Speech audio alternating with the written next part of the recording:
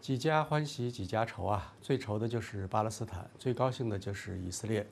实际上，巴以问题走的现在越来越复杂，越来越麻烦，也就是巴勒斯坦人越来越没有办法控制自己的命运。这里面主要的一个操盘者就是美国。美国历任总统，包括特朗普，都不断的在制定所谓新的中东战略。这个新的中东战略呢，就是要瓦解阿拉伯世界。那么从现在来看的话，美国的计谋看来是得逞了。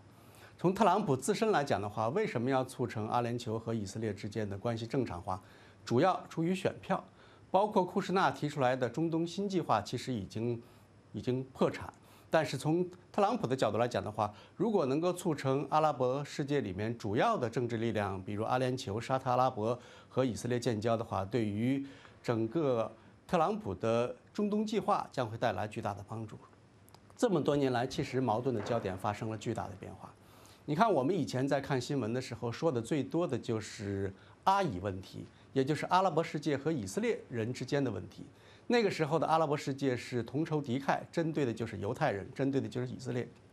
现在呢，很少再提阿以矛盾了，提的更多的是巴以矛盾，也就是在美国的政治操弄之下的话，已经把一个大的矛盾转化为一个小的矛盾。而且让很多阿拉伯世界开始重新认识以色列，包括埃及也好、约旦也好，都先后和以色列建交。那么沙特实际上虽然没有和以色列建交，但是双方之间也是暗通款曲。在美国不断的斡旋之下的话，像沙特这样一个阿拉伯世界的领袖，如果出现了重大的问题倒向以色列的话，那么巴勒斯坦就更加孤立无援。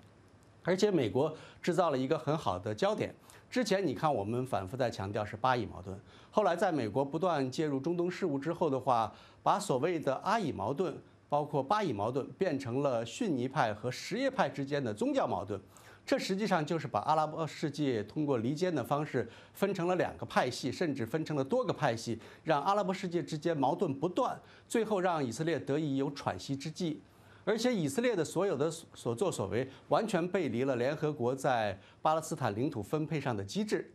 这个对美国也是有帮助，对以色列也是有帮助。所以这两个国家现在关系正常化，对于阿拉伯世界，包括对于巴勒斯坦人来讲的话，只能是一场悲剧。